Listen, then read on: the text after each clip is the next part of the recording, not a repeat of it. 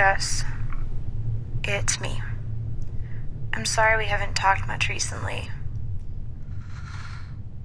I'm still trying to figure out this whole being apart thing. Things got messy. But I still love you.